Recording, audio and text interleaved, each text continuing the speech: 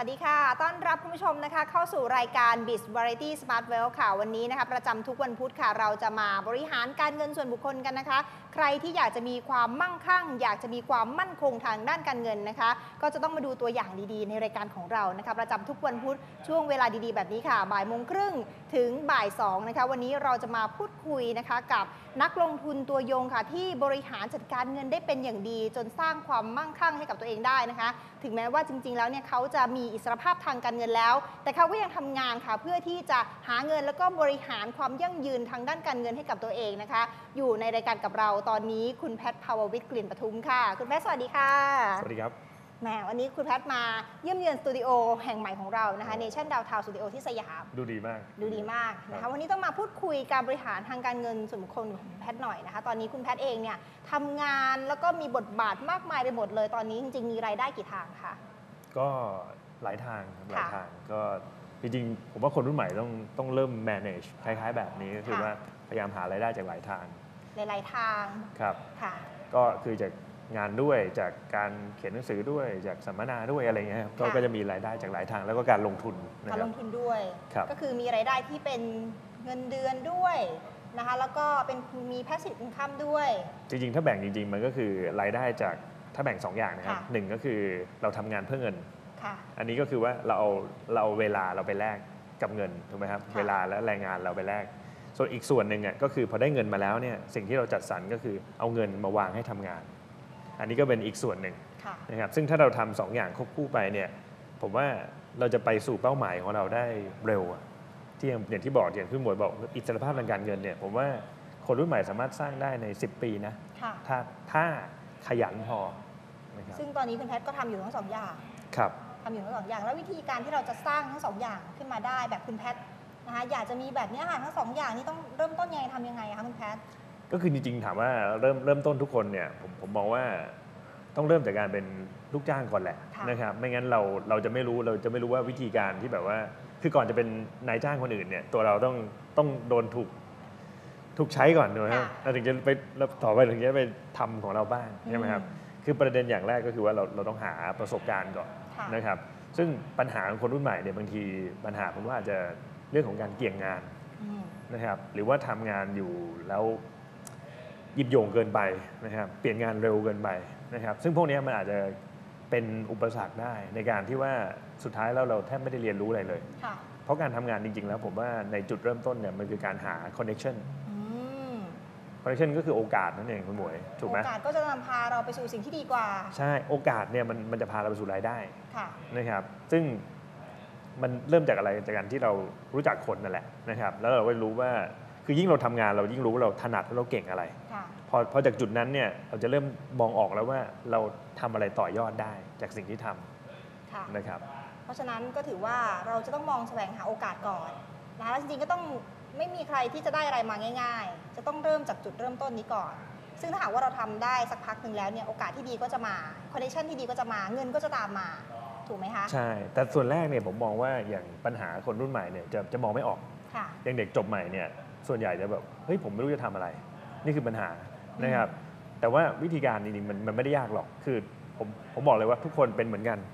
พอจบใหม่ๆเนี่ยคุณไม่รู้หรอกคุณจะทำอะไร แต่อย่างแรกคือคุณต้องลองลองเข้าไปทำงานก่อนค่ะนะครับ แล้วก็ตอนแรกเนี่ยเวลาเริ่มต้นเนี่ยก็คือว่าอย่าไปเกี่ยงงานไงค่ะคือทำมันทุกอย่างอะ่ะคืออย่าไปมองว่าโอ้โหเราทำงานหนักเกินเงินเดือนนะอืมเขาให้หมื่นห้าเท่านั้นเองทำไมเราทำงานหนักขนาดนี้ จริง ๆ ยิ่งทำยิ่งทำงานหนักเท่าไหร่ยิ่งดี นะครับแล้วถามว่าการจะมีไอเดียเนี่ยผมว่าเราต้องมองหาเช่นอ่านหนังสือให้เยอะอืมนะครับแล้วก็มองถ้าถ้ามองไม่เห็นอะไรเนี่ยอาจจะเข้าสัมมนาต่างค่ะๆซึ่งซึ่งสิ่งพวกเนี้ยอย่างเช่นการสัมมนาหรือการอ่านหนังสือเนี่ยมันจะเปิดโลกทัศน์เราค่ะให้มองเห็นว่าจริงๆเนี่ยโอกาสทำรายได้เนี่ยจริงๆมันเยอะมากค่ะใช่ไหมคุณหมอคือเดี๋ยวนี้คนรุ่นใหม่สามารถเปิดธุรกิจอะไรได้ได้เยอะอะนะครับอาจจะเป็นเป็นการแบบเอาซอร์สบริษัทหรืออะไรต่างๆเนี่ยค่ะคือ พอเราไปอยู่ตรงนั้นเนี่ยเราเราจะเริ่มเห็นเองว่าอ๋อมันมีการต่อยอดทำตรงนี้ได้นะตรงนี้ได้ค่ะแต่ถามว่าถ้าเกิดเป็นคนรุ่นใหม่จบมาถามเอาให้คุณคิดซิทำอะไร คนรุ่นใหม่ก็เอ่อเปิดร้านกาแฟมั้งพี่เอาแบบง่ายๆเทนๆเลยแบบเอนั้อนซึ่งปัญหาคุณหมอนึกว่าใครๆก็คิดเหมือนกันนะค่ะหรือแบบทำอะไรดีเอ่อเปิดร้านอาหารอ้าวอืมคือคิดอยู่แค่เนี้ยประเด็นคือว่าทุกคนคุณต้องนึกภาพว่าการที่จะไปหารายได้เนี่ยหนึ่งมันคือว่าคุณทำธุรกิจที่ มันไปสู่โอกาส คิดให้แตกต่าง เออ มันต้องคิดแตกต่างค่ะแต่ถ้าเกิดเราคิดไปแล้วมันเหมือนคนอื่นก็แปลว่าสิ่งที่คุณกำลังจะทำเนี่ยคู่แข่งจะเยอะมากอืมนั่นปัญหาคือคุณหมอสังเกตว่าคนรุ่นใหม่พอเปิดธุรกิจเนี่ยมันมันจะไปซ้ำคนอื่นเช่นอะนึกอะไรไม่ออกเปิดท้ายขายของค่ะหรือว่านึกอะไรไม่ออกก็ขายอะไรสักอย่างหนึ่งถูกไหมครับคือคือประเด็นคือว่าสิ่งที่คุณคิดเนี่ยถ้ามันคิดได้ง่ายมากๆเนี่ยได้ห้านาทีผมบอกได้เลยว่าโอกาสสำเร็จแทบไม่มีเลย ค่ะคือสมมติถ้าคุณนั่งอยู่แล้วคุณบอกนี่ไงทำนี่ไง ขึ้นมาปั๊บเนี่ยโอกาสสำสำเร็จนี่น้อยมากเพราะอะไรเพราะว่าคุณต้องนึกว่าคนอื่นเขาก็คิดได้เหมือนกันค่ะถูกไหมนะครับแต่ถ้าเกิดอย่างพอเราเข้าไปในทำเข้าไปในบริษัทเนี้ยการเห็นโอกาสตรงนั้นเนี่ยมันจะแตกต่างละค่ะเพราะคนที่ไปอยู่ในบริษัทต่างๆเนี่ยมันจะเป็น specialize ในในแต่ละอาชีพไงค่ะถูกไหมครับพอเข้าไปตรงนั้นแล้วเราเห็นโอกาสอีกโอกาสหนึ่งอืมซึ่งเป็นโอกาสที่ลึกกว่า มันไม่ใช่โอกาส general ละอืมเพราะโอกาสอย่างแรกที่ที่ที่เราบอกเนี่ยโอกาส general ก็คือว่าเด็กก็คิดได้อะคุณหมวยค่ะวันนี้เด็กมหาลัยก็บอกผมก็เปิดร้านกาแฟได้ ผมเปิดชาไข่มุกได้เหมือนกันค่ะใช่ไหมคือพวกตรงเนี้ยมันก็เป็นเป็นจุดหนึ่งว่าอ่าถ้าถ้าถ้าคุณ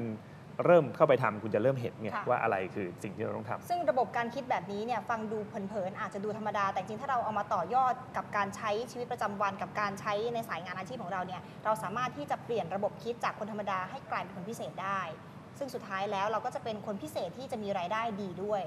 แบบนั้นเลยใช่ไหมคะใช่ครับทีนี้ถ้าเป็นย้อนกลับไปในกลุ่มของคนที่เริ่มเริ่มทำงาน แล้วก็มาทำงานเป็นมนุษย์เงินเดือนนะคุณแพทย์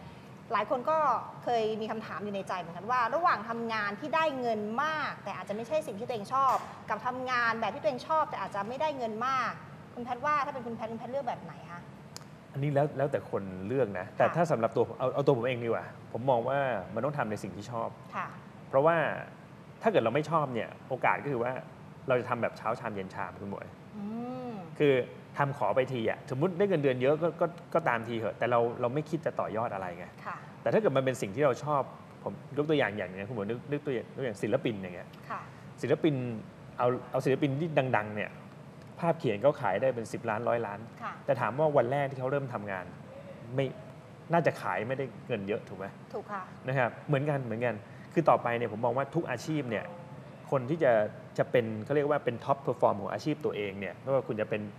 เป็นเป็นอาชีพอะไรก็ตามเนี่ยค่ะมันมีอาชีพเยอะแยะนะครับถ้าแต่ถ้าคุณจะเป็นที่หนึ่งของอาชีพตัวเองไม่ได้ไม่ต้องที่หนึ่งหรอกระดับต้นๆของอาชีพตัวเองเนี่ยค่ะคุณต้องเป็นศิลปินในอาชีพนั้น ศิลปินคืออะไรก็คือว่าตัวคุณแตกต่างยังไงกับคนที่ร่วมอาชีพไงนะครับคือถ้าเกิดตอบโจทย์ตรงนี้ไม่ได้ก็แปลว่า career path คุณตันแล้วล่ะนะครับคืออย่างยกตัวอย่างอย่างถามว่าในอย่างอย่างผมเนี่ยก็แตกต่างเหมือนกันนะครับ อาจจะบอกว่าโชคดีก็ได้นะครับ เพราะว่าคือผมไม่ได้เรียนเรื่องหุ้นมาอืมนะครับพอเข้ามาปั๊บเนี่ยการการที่เริ่มอย่างผมเข้ามาในในตลาดในตลาดหุ้นเนี่ยนะครับสิ่งที่ผมเข้ามาก็คือว่า เข้ามาประสบการณ์ล้วนๆนะครับ ก็คือเล่นเองเจ็บเองค่ะแล้วก็เอาตัวนั้นมาสอนนะครับแล้วมันกลายเป็นว่าพอเราพอเรารู้ตรงนี้ปั๊บเนี่ยมันก็เป็นข้อแตกต่าง คือเราไม่เอาวิชาการมาสอนนะครับ มันก็เป็นจุดแตกต่างที่ทำให้อ๋อเราพอเราพอเรา มีจุดยืนที่ชัดเนี่ยค่ะมันก็สามารถที่จะพัฒนาตรงนั้นเนี่ยให้เด่นเข้าไปอีกนะครับมันก็กลายเป็นเขาเรียกว่าเป็นจุดขายค่ะนะครับ